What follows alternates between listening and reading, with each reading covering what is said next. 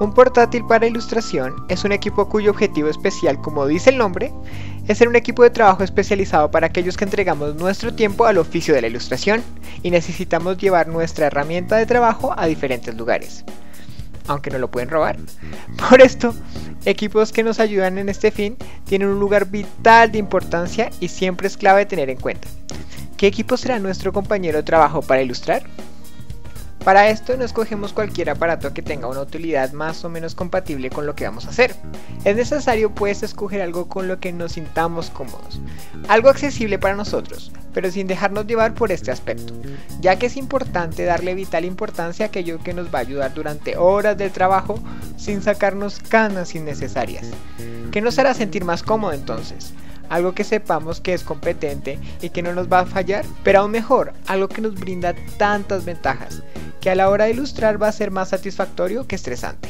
Es por esto que hicimos un top de los portátiles para ilustración, teniendo en cuenta capacidad del equipo, precio y ventajas específicas que nos brindará determinado equipo.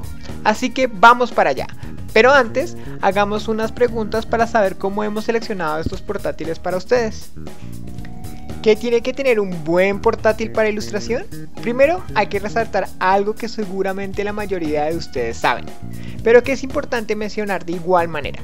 Y es que un portátil nunca va a tener la capacidad de una torre o un computador de mesa, sobre todo cuando hablamos de arduas horas de trabajo.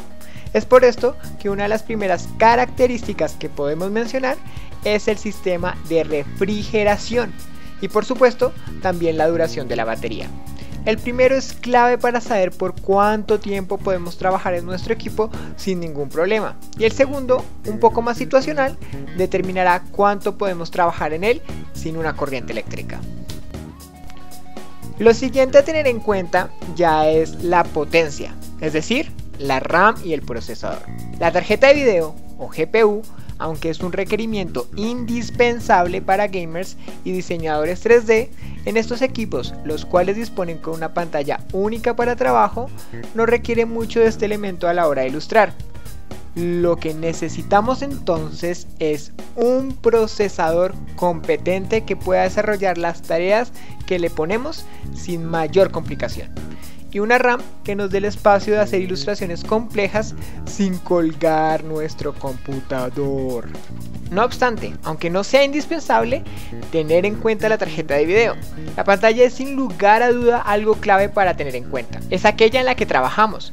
No queremos una pantalla táctil que tenga fallos o poca durabilidad. Delay mientras la usamos. Tampoco una gama de colores pobres que no dé cuenta de la realidad con la que miramos. Ni nada por el estilo. Teniendo en cuenta esto, escogimos los 5 portátiles en el mercado que consideramos son los mejores para este oficio. Vamos allá papuchos. Comencemos por el mejor portátil para los que tenemos un presupuesto no tan grande. Este portátil cumple con las 3 Bs. Bueno, bonito y barato.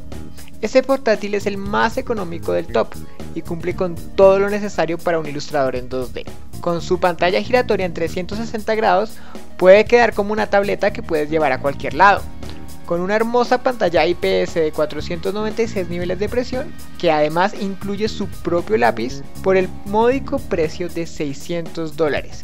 Incluye un Intel i5 8265 o una AMD Ryzen 5 3500U Recomendamos irse por el Ryzen ya que tiene un mejor rendimiento que su contraparte. Adicionalmente viene con una Radeon Vega 8 de GPU dedicada y 12 GB de RAM, mientras que la versión de Intel viene apenas con 8 GB de RAM. Este portátil viene con dos lápices a elegir.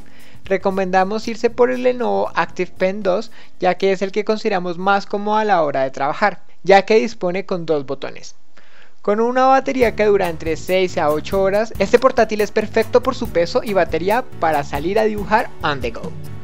Si te cuesta entender para qué sirve cada especificación, recuerda que anteriormente hicimos un video explicándolo todo. Dejamos el video aquí en la descripción o arribita en la pantalla. Este portátil también posee una pantalla giratoria de 360 grados para acomodarse como una tableta. De igual manera viene con un lápiz incluido. Este portátil tiene un mejor procesador, se trata de un i7 8565 y 16 GB de RAM, lo cual le añade más potencia a nuestro equipo. sin contar que adicionalmente posee 512 GB de memoria SSD. Por otro lado, tiene una muy buena duración de batería, permitiéndote largas jornadas de trabajo sin necesidad de estar conectado, con posibilidad de llegar hasta 12 horas de duración. Obviamente, esto depende igual de lo que estemos haciendo, pero si un día estás como me procrastinaré todo el día con videos de YouTube, es posible que llegues a esta duración. Y este portátil tiene un cómodo precio también, 750 dólares, no mucho más que el anterior. Al igual que todos los portátiles en esta lista, este portátil tiene la posibilidad de volverse una tableta, cuya pantalla puede desconectarse. Posee un procesador i7 8500 o un i5 dependiendo del precio. Y con la mejor GPU hasta ahora, una Nvidia 1060, algo muy extremo para un portátil. Además 16 GB de RAM con una SSD de 512 GB o hasta una Tera, dependiendo de lo que elijas. No obstante, a pesar de su increíble potencia, tiene algunos aspectos negativos. El primero es que toca comprar el lápiz por aparte. Otro es que su memoria RAM no es por así decirlo genérica, es decir, que conseguir un repuesto es súper difícil, así que más les vale cuidarlo. No obstante, aunque no sea lo más indispensable para ilustración, posee una tarjeta gráfica que mala no es. Si quieres darte un respiro, puedes pasarte a jugar Fortnite o Minecraft con muchos mods sin ningún problema. Aunque bueno, es mejor tener el computador de trabajo solo para trabajo. Pero pues yo no creo que después de comprar este computador nos alcance para comprar otro por aparte, para ocio y jueguitos, o al menos dentro del mismo año, justo en la pobreza. Sí, ROG significa Republic of Gamers, pero eso no significa que no tenga las especificaciones perfectas para ilustración. El portátil solo es un poco corto en ciertas áreas en comparación a nuestro Top One pero con un costo más económico. Con una pantalla de 15.6 pulgadas con tecnología QHD para color real e imágenes de punta, este portátil cuenta con un i7 9750H, uno de los mejores procesadores de novena generación, y con sus jugosos 16 GB de RAM tendrás espacio para que tus ilustraciones sean monstruosas. Y algo que amamos de este portátil es que tenga una HHD de 1 tera y una SSD de 512 GB. Lo mejor de los dos mundos, o sea, no sufrirás por espacio y como no puede faltar es una laptop diseñada para gaming, tendrá una GPU GTX 1650 que no le hará daño a los que quieran usar 3D y video. Es decir, es en definitiva una de las mejores computadores que hemos hablado hasta el momento. La única pega, pero no es como decir, oh, soy bayoneta, es que en cuanto a puertos, este solo tiene USB tipo C. Pero bueno, Basta con comprarse un adaptador para un uso más cómodo. Con un cómodo diseño y con un monitor 4K IPS, un, procesador i7 1510 de décima generación que llega a 4.9 MHz, con la opción de decir tu GPU entre GTX 250 o 1060 Nvidia para los exigentes en videojuegos, edición 3D con 16 GB de RAM, 32 de Optane Memory, perfecto para todos los programas de edición 2D, además de una pantalla 4K completamente táctil. Lo que más nos impactó es la cantidad de puertos para conexiones externas que tiene este portátil y su hermosa pantalla con colores reales perfecto para profesionales. Es decir, confiarás más en esta pantalla que en tus propios ojos. Además, con el mejor sistema de seguridad para cámara y lector de huellas, así ningún hacker podrá ver tus comisiones raritas sin que te des cuenta. Tiene además Wi-Fi 6 2020 y Bluetooth 5, tecnologías de este año que casi no se ven en el momento. Si quieres tener lo mejor en tu mano, si tienes el dinero para esta inversión, no lo dudes dos veces, o sea, que no tiene este equipo. Estoy seguro que mis padres aprobarían esta relación. Aunque pareciera que fuéramos unos vendedores, metiéndote la idea de comprar estos equipos, no tenemos ningún ánimo de lucro. Nadie nos patrocina. Ojalá lo hicieran. Sabemos que para algunos si no es Mac no lo comprarán.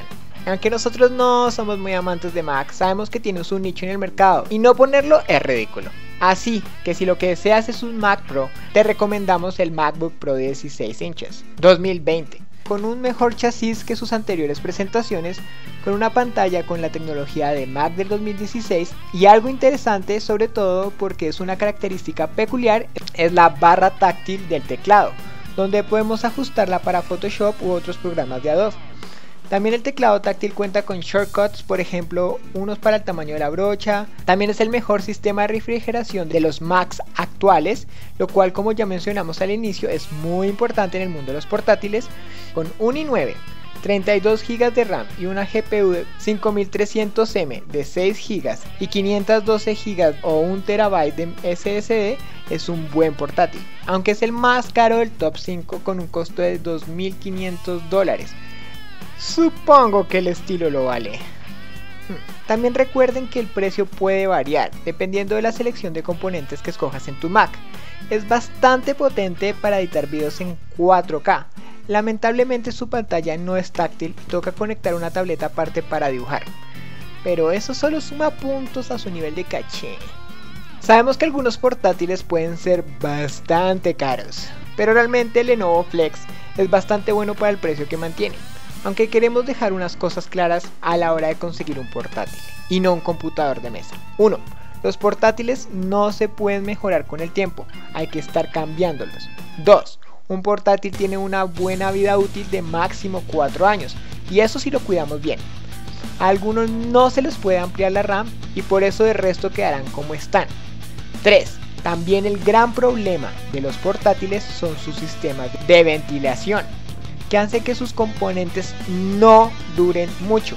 Pero entendemos que para algunos es bastante importante que sean portátiles que lo puedan mover y llevar del estudio al trabajo desde la casa. Pero si esto no es algo fundamental para ti, te recomendamos más bien un computador de mesa, al que podrás ir cambiando las partes cuando estas ya no estén actualizadas. Además las partes duran mucho más años que en un portátil y el computador de casa no se degenera tan rápido. Claro, puede salir muchísimo más caro que un portátil. Hay que comprar pantalla y otros componentes, que para estar actualizados o por cuestión de durabilidad son aparatos que tendrás que cambiar en algún momento. Aunque esto es un tema muy común siempre que hablamos de tecnología. Sin más chachara que decir, esperamos que les haya gustado este video. Cualquier duda, queja o comentario lo pueden dejar abajo en los comentarios.